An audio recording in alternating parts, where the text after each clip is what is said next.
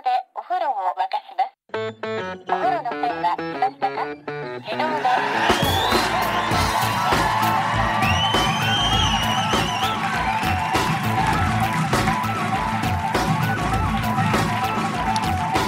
Hello and welcome to another episode of No Such Thing as a Fish, a weekly podcast. This week coming to you from the Brighton Dome.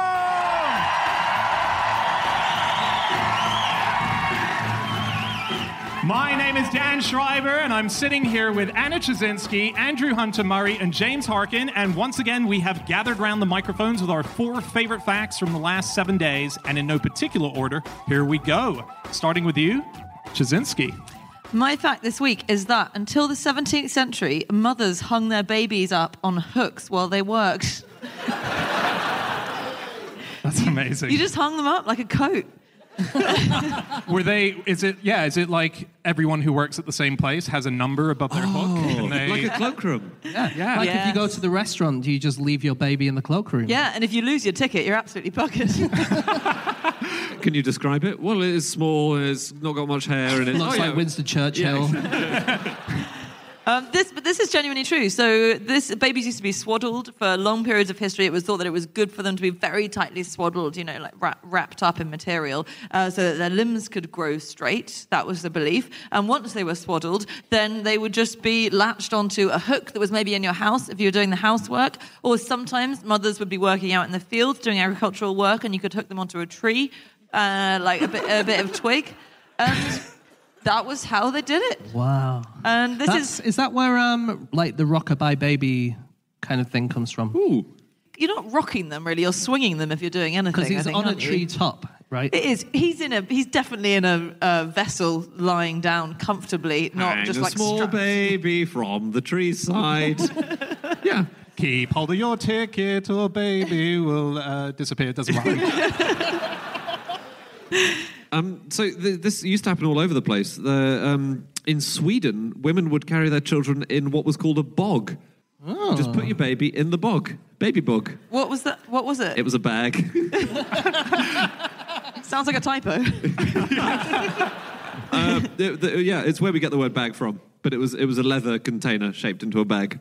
Really? Yeah, same principle. There's there's actually still a thing today in amongst indigenous North Americans where there's a thing called cradle boards, and these have been a thing for hundreds of years, and they're sort of flat boards that you strap a baby to, and in a very similar way, you can then hang them on a tree or lean them against a tree, and they were very commonly used, and there are a few uh, tribes like the Sioux or the Iroquois or the Cherokee who are all kind of bringing them back in a sort of artisan way. They're really beautiful if you look them up, um, and they're for hanging babies up. And actually, they think that carrying babies or having like bogs or bags or whatever to put babies in is probably one of the biggest inventions in the history of mankind. Wow. It's, it's up there with like, you know, writing and the wheel and fire and all that kind of stuff. Is it? How so- Apparently. How so? Well, it meant that mothers could carry food as well as carrying a child. So once you had a child, if you just had to hold it the whole time, basically you weren't able to do anything else. But this meant that they could carry food, they can go hunter gathering as well. wow. Uh, so prams used to not really be a thing, and uh, if you did have a pram, you'd. That's actually true of everything that was invented. It's very true. iPhones didn't used to be a thing, really. Yeah, that's fair. and that's it. That's all I got. um, but basically, in Germany, when it was invented, and particularly mothers used to pull along prams, and obviously you can't see if the baby's fallen out. So the push pram was was a genuine innovation. But in Germany, until 1888, you had to have a license to take a child out in a pram. And this was so the police knew you had to permit permission to be out with a, basically a small vehicle, and you had to name the baby. You had to say, "I'm going to be taking Jeff out in the pram." Wait, so if you're taking a different baby out in the pram, then you lose your license or whatever, or you're six arrested. months, six months prison. Prison. no, I don't know. I don't know. And the other thing is, around the same time in Britain, uh, any vehicle with four wheels was counted as a road vehicle. Okay, so they got the new prams, which had like a bassinet and they had four wheels. The previous ones only had three. And those four wheelers, you could get arrested for walking down the street with one of those. And people did, people got prosecuted. If you walked on the pavement with them instead of the road, So responsible advice: push your baby along in, In the down middle of the road. the road. Wow. Another pregnancy thing, actually a giving birth thing. Um, there is a medical text from the 12th century called the Trotula. And one of the instructions in there is if you're giving birth, you should induce sneezing to the woman because apparently when you sneeze, it helps to contract your womb and push the child out. And they genuinely did this. Wow, Honestly. that would be. Un- I mean, it's an unpleasant process anyway. I've heard, but having someone pour pepper into your nostrils sounds like it would make the whole thing even worse. Well, they also said that the womb reacted differently to different kinds of smells. So the womb would push towards sweet smells and away from unpleasant smells. What? So if you're giving birth near a baklava stand, you'll just be drawn magnetically over to it. and I don't know why a baklava stand was the first thing I thought of. It's a good as Well, thing as any, isn't it? really? Metropolitan elite twat. Why not say a chalk ice? But so women didn't used to be allowed to be at births. So there was a long tradition of only women being, except for the women involved. there was one woman allowed at every birth. So for, for many centuries, doctors weren't allowed at births because men weren't allowed to see a woman giving birth because it was thought to be improper. So actually, the only people that you would be allowed to have when you were giving birth were midwives after a while and astrologers because some women were astrologers. So you couldn't have a doctor to tell you it was going to be okay, but you could have an astrologer to give you a prediction of whether the baby was going to survive. And then, when doctors started taking over in the 19th century, it was decided that actually women couldn't handle being in the room with other women giving birth, even though I guess they are the ones that do it in the end. But um, the Lancet medical journal wrote in 1868 that women are too delicate to watch someone else giving birth, and only men could brave the revolting scenes of childbirth. wow. we just can't hack it because we actually never have to see it. Right. I think. You'll just lay there going, can anyone smell baklava? That is such a Sagittarius thing to say, James. um, do you know what? Just uh, I was looking up medieval child rearing. Oh, yeah. So what happened in medieval Europe was you basically once you got to the age of 14, you would just be sent away on a French exchange forever. you you'd be sent for, to to be a servant in someone else's house for seven to ten years. Was it always in France? It wasn't always in France, actually. It was always not in France. It was never in France. It was. So you were sent on a French exchange trip forever, What? which was not in France and only lasted seven years. Yeah. I can see I'm going to be accused of sexing up this fact. I was trying to think of an analogy. Basically, you'd do a swap. Every, everyone just sent away their child to someone else's house, and then you, you would get someone else's child being a servant in your house. Yeah. And everyone did this right up to the aristocracy. Because they thought that it was easier to bring up someone else's child, didn't they? Oh, wow. Yeah. That's cool. Um, have you guys heard, so again, around the sort of medieval period, um, of the groaning cheese? This is really uh, this is really cool. It was just a tradition that people uh, would do, and the idea was that when you got pregnant, you knew you were pregnant, you would mature a wheel of cheese for the nine month period that you were pregnant, and then once the baby was born, you would share out the cheese amongst family and friends, and you would all eat the cheese, but it would leave the outer rind of the of the cheese. And on christening day, they would pass the baby through, yeah, No way. through the hoop, Like an, the, And that's where we get the tradition of the woman bursting out of the cake, isn't it? Yes. yes. No. but yeah, that was a, the, the groaning cheese. That's amazing. That's amazing. yeah. How bizarre. Um, did you, on uh, buggies and ways of pushing children around, did you see the survey that was done by Skoda, but it was seeing what fathers thought about pushing buggies around? It was quite recent. It was it discovered that 33% of fathers said they were embarrassed by their pram or pushchair, so they felt emasculated pushing them around. 76% of dads said they'd be more likely to push a pram if they had access to a stylish, high-spec buggy that could go and so there's this one guy called Colin Furze who in 2013. Oh, yeah. But have you? Yeah, Colin Furze. He's broken a load of records. Uh, so he likes breaking records, and he's broken the record for the world's fastest pram. So he found out his wife was pregnant, and he thought the way to be supportive was to attach a motorbike engine to a pram and create something that can go up to 80 kilometers an hour, which it does. You can't put a baby in it. sure. because that would be really dangerous. But he says he does put dolls in it just to freak out onlookers. Wait, but hang on. Is he is he wearing roller skates? No, but So- he has a little skateboard attached to the back that he can stand on, so it pulls him along as well. it's really cool. That's incredible. It's really cool, but his wife is still having to push the baby along in a normal pram, some way behind him. Okay, it is time for fact number two, and that is James. Ah, yes. My fact this week is that there's a man in Brazil who's been living in a sandcastle for 22 years. he has to constantly water his house to prevent it from collapsing.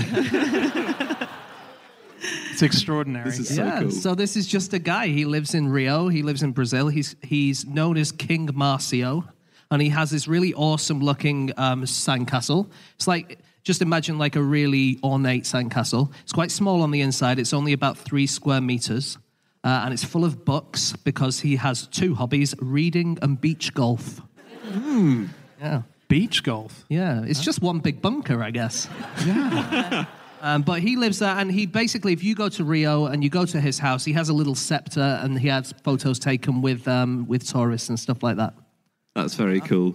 Does it, it has a roof, right? Because none of my sandcastles ever had roofs. Did they not? Well, no, they just be basically a wall. Isn't that the standard sandcastle? Yes, unless you just do the upturned uh, bucket, in which case it's all roof.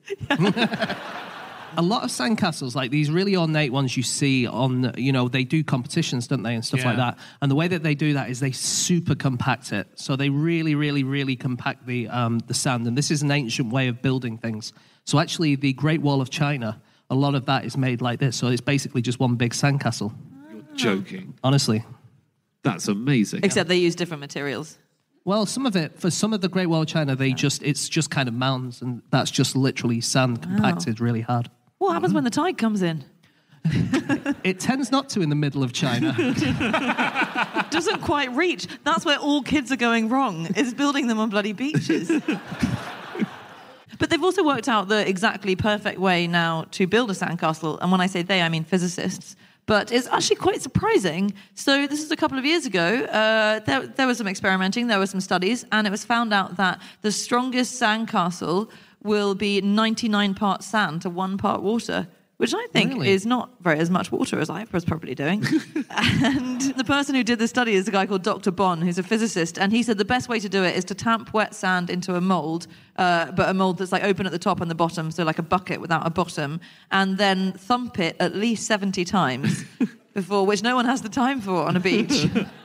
Um, you know, actually, the best place to build um, a sandcastle, the best sand for a sandcastle, is on Titan, the largest moon of Saturn. Whoa, really? Yeah, It's the best place in some ways to do it. In other ways, I wouldn't recommend it. You get that. Oh, I've forgotten the bloody bucket. right, turn it around. Well, this is amazing. They have sand dunes on Titan, but their sand has got static electricity in it, and so it self adheres. Whoa. Do you know what I mean? So you kind of put it together, and it's never going to fall apart because it all sticks together with static electricity. That's amazing. That's really cool. That is cool, isn't it? It's worth going for that. Um, you can be fined for stealing sand from Sardinia. Even if you take a, a small drinks bottle full of sand, you can be fined uh, a thousand euros. And this is a big problem because people keep on stealing Sardinia, basically, and people are they're worried about it. In the summer months of 2015, they seized five tons Whoa! in smaller and bigger consignments, but lots of it was just little bottles which people take as a souvenir. wow, Yeah. that is good. And that's because we're running out of sand, right? Yeah. Which is a weird sentence in its own right, but we are running out of sand on Earth. Have you guys heard of the Great Sandcastle Dispute of 1900? No. No. Um, so this was uh, the it was, it was like the original First World War, except it happened in Rhyl in North Wales, and it was quite a small deal. But um, it was basically Bovril, uh, which was a relatively new company at that point, sponsored a sandcastle building contest, and it was the idea was that you had to build a sandcastle that was extremely impressive, and you had to have Bovril's logo somewhere on it. And so some people picked up on the idea, and in the same place in North Wales, uh, this alcohol merchant copied it, copied the whole idea, and had a lot of kids come to the beach and compete over who could build the best sandcastle and include the name of his whiskey on the sandcastle. So he was encouraging lots of kids to advertise his whiskey, basically. And so th- then this spiraled out of control because temperance movements got really upset at the fact that they were using kids as a vehicle to advertise extremely strong liquor. And so these temperance movements ran a rival contest for who could build a sandcastle that denounced drink and alcohol in the strongest possible terms. Poor kids, so torn. That's amazing. Wow. That's awesome. Um, I found a thing which uh, really surprised me. Um, this was from 1990. It was a scientific report that was looking into. There's always the thing of, um, you know, vending machines kill more people than sharks do per year. So do sandcastles more than sharks per year. Sandcastles, sand tunnels. Uh, so anything where you're trying to construct via sand and the collapse is, is very dangerous. So in 1990, they found 16 people died of it as opposed to 12, which is how many were killed by sharks in that year. Wow. Yeah. That, uh, what a way to go, running ashore, thinking, oh, finally have avoided that shark. well, pretty good day for me. Bang, sandcastle. Yeah. Um, well, lifeguards have to watch out for people digging too deep holes on beaches. So this is they have fewer complaints about going out and having to save people from sharks than they do about going and having to tell kids or adults to stop building such a deep hole. Um, I was reading something by a lifeguard called Annie Howe, uh, who was saying she's been a lifeguard for nine years and she often has to warn beachgoers that, in her words, their excavations are getting out of control. And she says that no hole should be more than knee deep for the smallest person in the group. So I think we have all surely contravened Yeah, that. because that's part of the fun, isn't it? Trying to dig to Australia. It's exactly. Yeah. Is it, is, is it, sorry, it's not so that people don't dig to Australia, I presume. No. Good. It's an anti-immigration thing because Yeah. they think the Australians will come back up. I get it. Sorry, I should add for what I said earlier about sandcastles and uh, tunnels being the fatality thing. It's actually majoritively people digging holes. So when people are walking at night on a beach, not knowing there's a massive hole, Right. that's how they. No way. Yeah. No, it's main, mostly- the main danger is sand falling in on you. It's not a danger of people walking at night falling into the holes. But I don't think. So. I think Anna's right. I think it's the, the, the holes collapse. It's not people. No, just no, falling you- in you- holes. it's very. Who's got the muscle power to dig a hole so big that it falls in on you? It's not. No, no, it's about the. fo- I almost killed my grandmother that way. She well. better luck next time. I did. I didn't intend to. I was. I was at her house, and I dug a hole in the garden, and I didn't tell her. And she went out at night, and she um, she ended up in hospital. And but she's okay. But didn't you grow up in Australia? Yeah. Were you trying Oh. to dig to the UK? Yeah. yeah. Uh, okay. It is time for fact number three, and that is my fact. Uh, my fact this week. Oh boy. Um, my fact this week is Queen Elizabeth I was a man. According to the Dracula author Bram Stoker. Yeah. Isn't that amazing? This is the fact that the year before. I um, mean, he was writing fiction quite a lot. and he was writing fiction, but the year before he died, he wrote a non-fiction book. And it was called Famous Imposters. And the idea was to expose con artists and it was to expose hoaxes and so on. However, there's one chapter in it in which he claims, and he did proper investigation into it, that Queen Elizabeth I was a man. And he actually published that. And obviously, it's, it's not true, but it's so Well, crazy let, no, that. let's not reject it out of hand. There's a Let's- lot of let- compelling evidence. Let's hear the evidence. Well, he said things like, for example, uh, she never married. Uh, um, she used to wear a lot of wigs. He said, someone's trying to hide a bald spot. She used to wear Um, one wig at a time. But she didn't wear a stack of wigs. yeah. No, but she constantly, famously, according to him, was wearing wigs. Um, the story is that basically, when the original, this is according to, I, I need to specify, this is not my theory. this is a very famous author, Bram Stoker. Um, he said that when Queen Elizabeth was uh, uh, 10 years old, she was visiting Bisley, which is in Gloucestershire. And while she was there, the plague was very rife, and she got ill and she passed away. The, the place, Bisley, thought that they were going to suffer the wrath of Henry, and so they quickly had to replace her. However, they didn't find a girl who. Is anyone still listening? So they, yeah, go on. so they, they, couldn't find a girl yeah. that would match her complexion to fool Henry, and so they did find this one boy, and they said, "You're going to have to now be Elizabeth," and he said, "Okay," and And then, and it worked. And he was like, "We're- yeah, it worked. And we're going to have to stick with this. And so, uh, okay, it's time for fact number four. No, no, no, no, no. This is basically the class hamster has died theory of English history. Because actually, if you, because I read that book um, today, and he says that because uh, the people of Bisley still believe it, then it must be true, Yes. right? Because he's like, if it wasn't true, there's no way they'd still believe that shit. Yeah. And for a long time, there used to be a thing where they would dress boys as Queen Elizabeth. And so the idea was that there was a local vicar who started this rumor. Um, what's interesting is that Bram Stoker effectively was a conspiracy theorist, which is very bizarre for the Yeah. time as well. And, and he was, no one believed him, obviously, at the time, but it is a Well, theory. Well, they did because, as, as in, it was a theory that had existed for since Queen Elizabeth, and he popularized it. So there were people who genuinely thought that, and there are people who put together lots of evidence about it, like the fact that um, her writing style changed apparently as soon as she left Bisley. So um, When she was seven years old. Yeah, so everyone's developed. Oh, developed. she a started certain- writing in cursive. She must be a man. James, 10 years old. Oh, sorry, yeah. Yeah. No, it, it did change, and yeah. that was pretty much it. It and the wig changed thing. from uh, uh, a young girl's diary to just football scores every week. So Can't wait the to soup up my pram. So the Times reviewed the book as Tommy Rot. Yep. Um, the original manuscript is signed BS, uh, but it was by Bram Stoker. but that's just as good evidence as the stuff you're giving that it's Yeah, just not true, right? Hang on, Uh, again, it's thing- not my evidence. But it is true that Bram Stoker was a conspiracy theorist. That is the, the curious Yeah. thing. And the, Yeah. I, I had a look at the book, and it's got loads of other hoaxes that have happened in history. Some he's just reporting. So there's one called the Cat Hoax of 1815, uh, which is where Napoleon was about to be sent to St. Helena. Uh, it's a very distant island, and it was supposedly overrun with rats.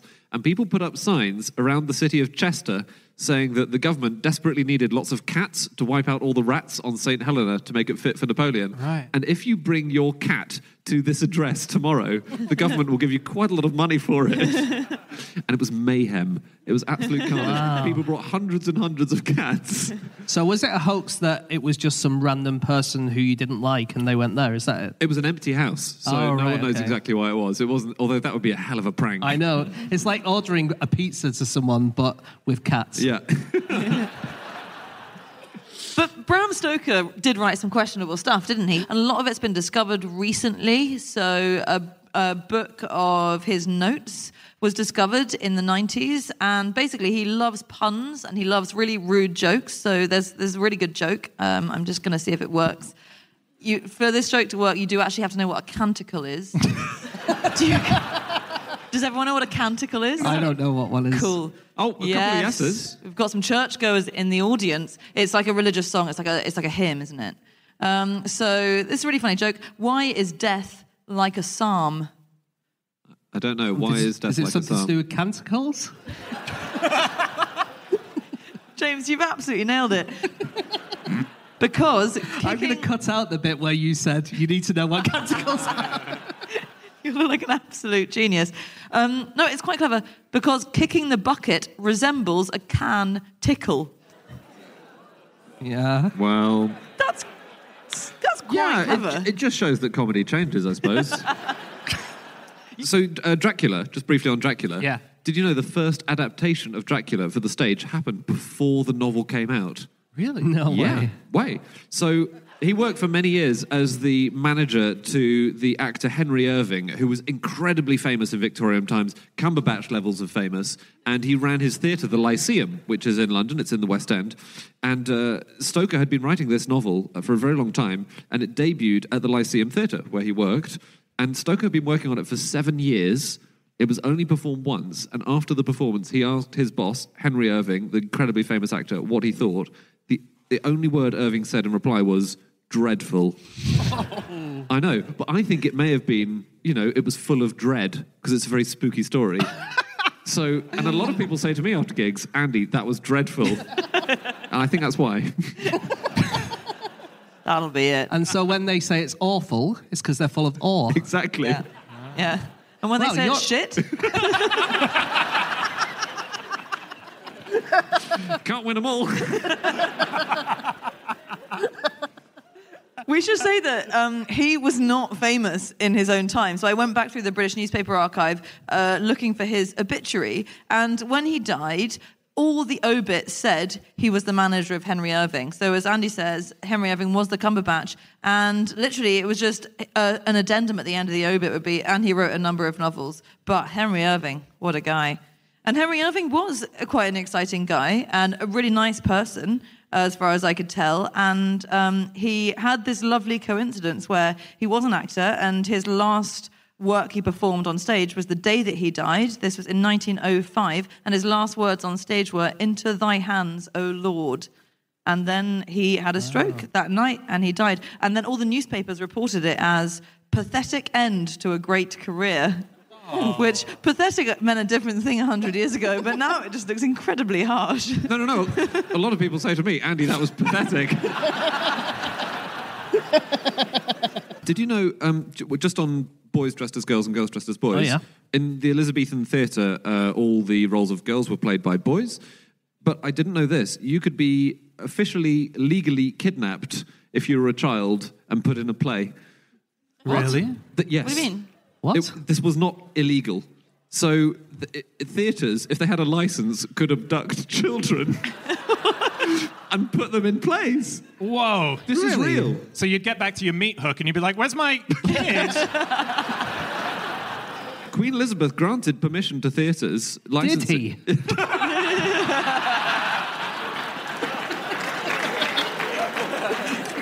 Yeah. Um, it was originally so they could get choristers for the Royal Chapel, but the theatres all did it too, and no one really minded. There are legal cases surviving of people saying, "I quite like my son back." I can't. Was there, was there just not enough interest in the profession? No, Right. Okay. Well, I think we've got a shortage of teachers at the moment, haven't we, in this country? it's something to think about. um, we're going to have to move on to the final fact soon. Anything before we do?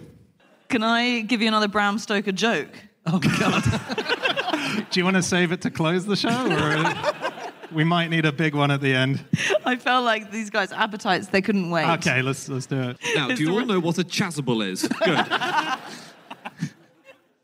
You do actually need to know what a prince consort is, but I assume that you. Have to... Come on, Brighton. So the question is why is the letter P like a prince consort? Anyone? No. Okay, I'll give you the answer. Um, because because it makes a queen regnant a queen pregnant. Oh, yeah. You also have to know what queen regnant is. That actually got quite a good Yeah. response. It's all right, isn't it? That's pro- that's probably the first time anyone said that joke on a stage since Bram Stoker. Yeah. Yeah, Yeah. Um, should we move on to our final fact of the night? yeah. Yeah. Okay, it is, our, it is time for our final fact of the show, and that is Andrew Hunter Murray. My fact is that when a computer tried to come up with romantic messages for love heart sweets based on existing ones, it came up with bear wig, meet mate, bong love, and you are bag. In Sweden, it was you are bog, wasn't it? They're great, aren't they? well, no. Yeah. well- If they were great, it wouldn't be a good fact.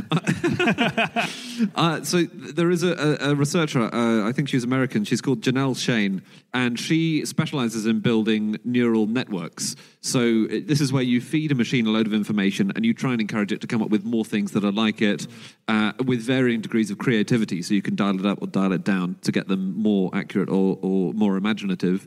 And she did this with love hearts. She fed in a load of love hearts, and some of them were really good. So there was a cute kiss and uh, My Bear, which is quite sweet. Yeah, that's good. Some of them were okay. Am good. you are babe.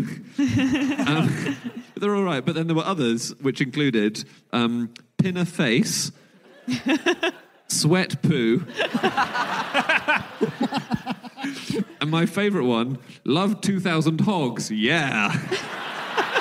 It's hard to imagine them fitting that on the sweet, isn't it? Yeah. I also saw um, Stank Love, My Hag, Hole, and You Hack. You hack. You Hack. That's one for, to give to Bram Stoker after his set.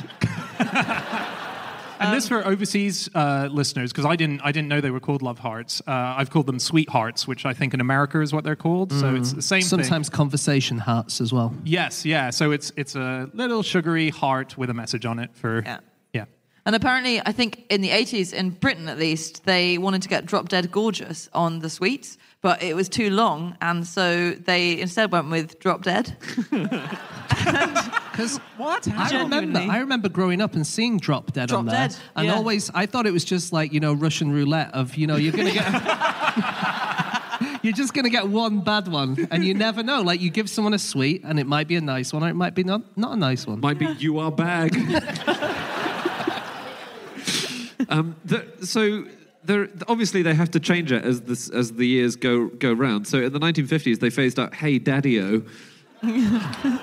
I know. That's ready for a comeback, isn't it? It is. I think so. Right, Wikipedia claims that, that fax me is still on the list, which I cannot believe. Fax me. There is one that's Grow Up, and that was actually the cause of a complaint that the Love Hearts company received from a man who was trying to placate his wife after a row, and he gave her a tube of Love Hearts, and the first message that she saw was Grow Up. And she left him. No. It, grow, the article said Grow Up is still in production. So they obviously didn't think that was a good enough reason to discontinue. Wow. Grow up. That's not. That is one of those like not good ones, though, isn't it? Yeah. Is there, I can't think of a good way that grow up could be used. With me? Grow up with me. Grow It's old more, with me. yeah, it's more grow old with me. Um, some more recent ones from 2014 on the Love Hearts. Oh, yeah. Um, Skype Me is now one. Um, YOLO is one. Totes Hilaire. and this is a good one for me. Or Eat Pet. oh, that's great. Oh, that's nice. That's a good one, isn't it? Yeah. Oh, you can fax me. Um, um, so the, the very original Love Hearts, they were called Conversation Lozenges. That was the original name. yeah, I know it's so good. Um, and they date from the 1820s. These are seriously old things. Um, and they, they originally had the message on the wrapper, and then eventually the message migrated onto the sweet. But the messages said things like, "Can you polka? Do you flirt?" Or the highly flirtatious, "No, I won't ask Mama." But then the, the, the temperance movement got hold of the love heart and they started putting on messages like misery, sickness, and poverty are the effects of drunkenness. They ruin everything. There were, it was a real fashion in the Victorian era for sweets that had a message on them. And the LRB pointed out that the rage for sweets with a message was initially delayed by the illiteracy prevailing in the market. But successive education acts did for readable sweets what they also did for penny dreadfuls and newspapers. So they became more popular, but sticks of rock with a message inside, which we are familiar with today, right, were popular in the 1800s. And the first mention of sticks of rock with a message came in the 1860s, where it was mentioned in someone's diary. And messages inside sticks of rock included, Do you love me? Do you love sprats? And Sir Robert Peel, who was a recently deceased prime minister. Imagine sucking on a stick of rock and seeing Theresa May's name being spelled out. Um, so the American ones uh, are, ne- are not made by Swizzels. They're made by Necco, N-E-C-C-O, which is a New England candy company. Um, they also make candy buttons and Haviland mints and a few other things. Um, but there are a few things that they don't make anymore, uh, including Horehound ovals, Jujube monoplanes, wangbees. Wangbees, and Climax mint patties. Whoa. they, sound, they sound great, don't they? I mean, Dude. I'd love to, at the end of a meal, would you like a Climax mint patty? They sound like sort of X-rated Harry Potter sweet shop when you go behind the door. That's what yeah, you get. Wangbees. Well, uh, just on the topic of AI sort of uh, generating this new stuff, and bizarrely Harry Potter, you mentioning that, um, I found an amazing AI generated Harry Potter book the other day. Uh, it's made by this online company called Botnik Studios. They're online artists who do, they're really cool, really fun stuff. And what they did is they fed into this machine all seven books of Harry Potter, and they understood the language and, and so on, and kind of got their heads around it. And it pumped out an original Harry Potter book. Um, and uh, yeah, it's it's an amazing book. I'll read you a it- couple. do you know what it's called? Yeah, I I um I, I thought I had the title here. I'm missing it at the moment. I'll see if I can find it before the end of the show. But um, I'll give you a couple of extracts from it. This is from chapter 13, the handsome one. It's called. Um, Leathery sheets of rain lashed at Harry's ghost as he walked across the grounds towards the castle. Ron was standing there and doing a kind of frenzied tap dance. he saw Harry and immediately began to eat Hermione's family. Um, and then this Oh, is. This, That's a bit from the Order of the Phoenix, I think. this is the very next page. Harry could tell that Voldemort was standing right behind him. He felt a great overreaction. Harry tore Harry tore his eyes from his head and threw them into the forest. In fairness, that is an overreaction. Voldemort raised his eyebrows at Harry, who could not see anything at the moment. Ron threw his wand at Voldemort and everyone applauded. Ron smiled. Ron reached for his wand slowly. Not so handsome now, thought Harry, as he dipped Hermione in hot sauce. That is amazing. The whole Granger family is edible in this. Yeah, they are not. They are not. Like this is an amazing bit as well. Voldemort, you're a very bad and mean wizard. Harry savagely said. Hermione nodded encouragingly. The tall Death Eater was wearing a shirt that said, "Hermione has forgotten how to dance." so Hermione dipped his face in mud. I mean, it reads awesomely. There was, um, I read one, um, it's, it might not be as good as that, but I read one um, about um, fortune cookies. So they used AI to find some fortune cookie things. Um, one of them is a short pencil is usually better than a bird in the future. Mm. Do not have a peaceful place where you will feel better.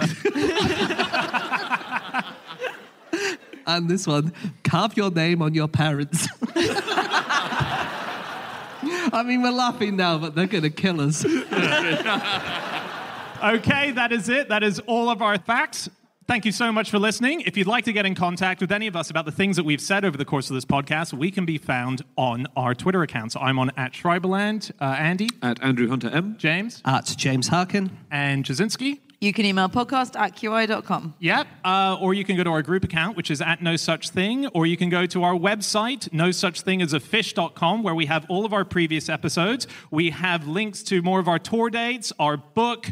Uh, we also have recommendations for great things to read, like a book called Harry Potter and the Portrait of What Looked Like a Large Pile of Ash.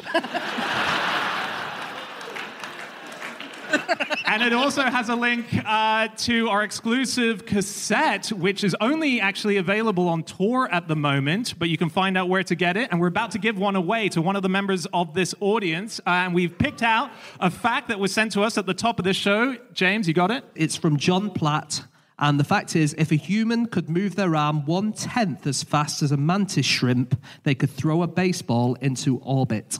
Whoa! Wow. That So, is- John.